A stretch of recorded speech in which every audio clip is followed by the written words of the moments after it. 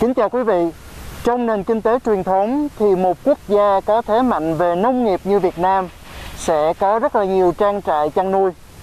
Còn trong nền kinh tế số thì Việt Nam cũng có một trang trại rất là đặc biệt đang được thành hình, đó là trang trại của Kỳ Lân. Thuật ngữ dùng để chỉ những công ty công nghệ được định giá từ 1 tỷ đô la Mỹ trở lên. Năm 2021 thì doanh nghiệp khởi nghiệp của Việt Nam thu hút được lượng vốn đầu tư kỷ lục hơn 1,3 tỷ đô la Mỹ cao nhất từ trước đến nay. Và đây cũng là năm mà Việt Nam chưa bao giờ có nhiều công ty kỳ lân mới được sinh ra với tốc độ nhanh như thế. Nếu như công ty kỳ lân đầu tiên và thứ hai của Việt Nam xuất hiện à, đơn lẻ thì chỉ riêng trong năm 2021 đã có đến 3 thương vụ đầu tư quy mô lớn à, nâng định giá của hai công ty của người Việt là Momo và Sky Mavis lên nhiều tỷ đô la còn lại Tiki thì cũng nâng được định giá lên gần ngưỡng kỳ lân. Bối cảnh đại dịch vô hình chung thì vẫn tạo ra một cái chất xúc tác vô tiền khoáng hậu cho trang trại này, giúp cho kỳ lân Việt Nam lớn nhanh hơn. Sau dịch, nhu cầu thanh toán trực tuyến của khách đã tăng 50%. Chuỗi cà phê này cũng phải chuyển đổi để chấp nhận thanh toán và quảng cáo trên nền tảng ví điện tử của một công ty kỳ lân góp phần giảm chi phí xử lý tiền mặt, đưa việc kinh doanh phục hồi ở mức 80%. Thay đổi lớn nhất là khách hàng sẽ hạn chế sử dụng tiền mặt nhiều, tiền sẽ chuyển thẳng trực tiếp vào tài khoản ví luôn. Và sau đó mỗi tháng thì sẽ gửi đối tác cho mình, chuyển khoản về cho mình luôn. Thì nó tiết kiệm rất là nhiều. Momo cho biết đã có thêm 11 triệu người dùng mới trong năm qua, chiếm hơn 35% tổng số người dùng mà ví điện tử này đang có. Bối cảnh đại dịch cũng đã thúc đẩy startup triển khai được các dịch vụ đáp ứng nhu cầu mới của người dân như là vay mua hàng trước trả sau, góp phần thuyết phục nhà đầu tư đồng ý rót tiếp hơn 200 triệu đô la Mỹ. Cái nguồn vốn lớn chúng tôi sẽ đầu tư vào chuyện tiếp tục à, sử dụng những cái công nghệ trí tuệ nhân tạo để xây dựng một cái sản phẩm của người Việt cho người Việt phục vụ người Việt tiếp tục mở rộng dịch vụ để à, cùng thúc đẩy cái nhiệm vụ là tài chính toàn diện của chính phủ cho các người dân ở thành phố cấp 2, cấp 3 và xa hơn nữa. Kho hàng mini đặt trong nội đô sẽ là mô hình kho hàng mới được doanh nghiệp thương mại điện tử Việt này đầu tư sau khi gọi được vòng vốn gần 260 triệu đô la Mỹ. Điểm đặc biệt của mô hình này là luôn có một cái diện tích kho lạnh kèm theo để mà bảo quản hàng rau, củ, thịt, cá nhằm đáp ứng nhu cầu mua trực tuyến hàng tươi sống đang ngày càng lớn trên thị trường. Theo Tiki, sẽ có từ 40 đến 50 kho hàng theo mô hình kèm kho lạnh này được đầu tư cho đến hết năm nay, tạo ra lợi thế cạnh tranh riêng cho doanh nghiệp Việt Nhất là sau khi đợt dịch thứ tư, nhu cầu về kho lạnh trên thị trường đang tăng nóng. Thị trường giao thực phẩm của Việt Nam dự báo sẽ trị giá 560 triệu đô la Mỹ trước năm 2024, mở ra cơ hội rất lớn cho chúng tôi. Việc đầu tư vào hạ tầng kho bãi, đặc biệt là kho lạnh, không chỉ giúp chúng tôi đáp ứng nhu cầu sử dụng hàng thực phẩm trong nước của người dân, mà còn giúp nông dân có thêm kênh bán nông sản cho thị trường nội địa, tránh phụ thuộc vào xuất khẩu. Chuyên gia cho rằng, việc đầu tư phát triển các công ty công nghệ kỳ lân Việt Nam hiện đang phụ thuộc nhiều vào nguồn lực nước ngoài, cần thúc đẩy hơn nữa vai trò của các tập đoàn, doanh nghiệp nội trong việc đầu tư, ươm tạo những kỳ lân tiếp theo. Đội ngũ các công ty kỳ lân Việt Nam dẫn dắt nền kinh tế số quốc gia thì đang được thành hình hài. Tuy nhiên thì đội hình này đang đứng trước nguy cơ bị lung lay do đã có sự di cư của một số kỳ lân sang trang trại của các quốc gia khác. Ví dụ như là Sky Mavis, startup sản xuất game ứng dụng công nghệ blockchain tỷ đô, thì công ty ở Việt Nam chỉ có vai trò là gia công cho doanh nghiệp tại Singapore mà thôi. Hay như tháng 6 năm ngoái, Tiki gây bất ngờ khi thông báo chuyển nhượng phần lớn cổ phần cho một pháp nhân mới thành lập tại Singapore. Tình trạng kỳ lân bị chảy máu đã được nhìn thấy. Công ty kỳ lân Sky Mavis sản xuất game ứng dụng công nghệ blockchain đã hướng đến thị trường toàn cầu ngay từ đầu Hiện có đến 98% người chơi game của startup này là ngoài Việt Nam. Do đó, công ty chọn cách thành lập trụ sở chính tại Singapore.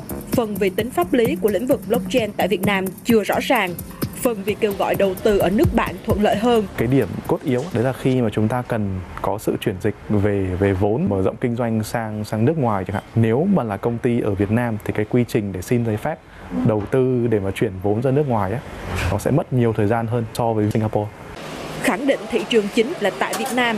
nhưng Tiki vẫn quyết định chuyển phần lớn cổ phần sang pháp nhân mới tại Singapore để thuận lợi hơn trong việc chuẩn bị phát hành cổ phiếu lần đầu ra công chúng IPO trên thị trường quốc tế.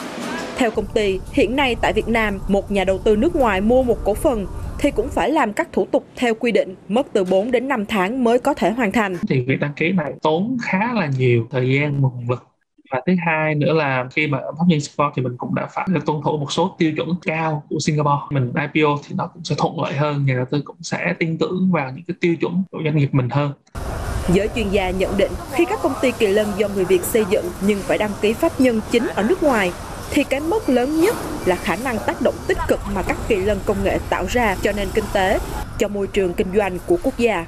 Và để có những phân tích rõ hơn thì chúng tôi đang kết nối với ông Huỳnh Kim Tước là giám đốc của Trung tâm hỗ trợ khởi nghiệp và đổi mới sáng tạo thành phố Hồ Chí Minh. Thưa ông, việc startup Việt phải chạy sang những cái nước như là Singapore là vấn đề không mới và đang tiếp tục xảy ra với các công ty startup được định giá tỷ đô. Vậy giải pháp nào cần phải được thực hiện ngay ạ? À, câu chuyện uh, Tiki không thể IPO ở thị trường Việt Nam là một cái câu chuyện thú vị cái câu chuyện này thú vị này nó bởi vì nó gợi mở ra như rất nhiều vấn đề chúng ta có thể phải tiếp tục hoàn thiện và giải quyết. Kinh nghiệm của thế giới là họ tạo ra một cái sàn giao dịch mới. Thì đến một đoạn nào đó các startup nó đủ lớn thì người ta sẽ có một cái sàn giao dịch riêng cho các startup. 20 năm trước chúng ta hình thành cái sàn giao dịch chứng khoán của Việt Nam. Lúc đó chúng ta chỉ có 4 công ty đủ điều kiện lên sàn. Trong khi hiện nay là chúng ta có vài chục doanh nghiệp uh, startup có định giá trên trăm triệu đô la. Như vậy thì nó vừa có nhu cung vừa có cầu còn lại duy nhất của chúng ta là phải tạo ra cái sân chơi để làm sao cả hai uh, có thể gặp được nhau. Và tốt nhất là nên gặp nhau ở Việt Nam và nó tạo ra cái sự tăng trưởng và cái sự tác động được cái kinh tế xã hội. Còn không thì người ta phải tìm cái sân chơi để giải quyết mục tiêu của họ thôi. Xin cảm ơn ông. Cải thiện môi trường đầu tư cho kinh tế số sẽ là việc phải liên tục làm nhất là khi tốc độ thay đổi của công nghệ đang như là vũ bão ở trên thế giới. Như trong lĩnh vực về tiền điện tử hay là game ứng dụng blockchain, thì trong năm qua, lần đầu tiên chúng ta thấy được những dự án của doanh nghiệp từ Việt Nam đứng chung top đầu với các quốc gia phát triển trên thế giới. Với những lĩnh vực mới, thì lợi thế sẽ thuộc về quốc gia nào sớm xác định được luật chơi một cách rõ ràng Vấn đề chính của lĩnh vực blockchain là các chính phủ của nhiều quốc gia vẫn chưa thể tìm ra cách chính xác để định nghĩa các quy định cho doanh nghiệp thuộc lĩnh vực này. Nếu chính phủ Việt Nam có thể quy định rõ ràng và đơn giản, kiểu như quy định sẽ là một, hai, ba điều như thế này. Còn lại thì doanh nghiệp cứ an tâm hoạt động. Các startup blockchain sẽ chỉ còn tập trung vào việc phát triển kinh doanh. Các quy định về mặt tài sản số đang là điểm yếu ở Việt Nam chúng ta chưa thừa nhận các tài sản số, ví dụ như là các đồng tiền kỹ thuật số hay là các NFT và dẫn đến là thua thiệt cho doanh nghiệp. Không thừa nhận thì sẽ không có các cái quy định về mặt phát hành tài sản số và dẫn đến là các hình thức lừa đảo, gian lận, đi cùng rất là nhiều và sẽ ảnh hưởng đến môi trường chung cho phát triển các cái sản phẩm sáng tạo như vậy. Nhìn vào bản đồ sẽ thấy Việt Nam đang có khoảng 10 công ty được định giá từ mức 100 triệu cho đến dưới 1 tỷ đô la Mỹ chỉ kém Indonesia và Singapore. Đây là minh chứng rất rõ cho thấy hiệu quả của nỗ lực thúc đẩy phát triển khởi nghiệp đổi mới sáng tạo tại Việt Nam. Tuy nhiên, giới chuyên gia cho rằng cần có những cải tiến chính sách mạnh mẽ hơn, đặc biệt là việc mạnh dạng tạo ra những vùng thử nghiệm chính sách mới theo cơ chế sandbox. Điều đã được nhắc đến nhiều năm nay, nhưng mà đi vào thực tế thì vẫn còn hạn chế. Kỳ lân được tạo ra từ những mô hình kinh doanh đột phá thì cũng sẽ cần những chính sách, môi trường đột phá mới làm nên được một trang trại kỳ lân.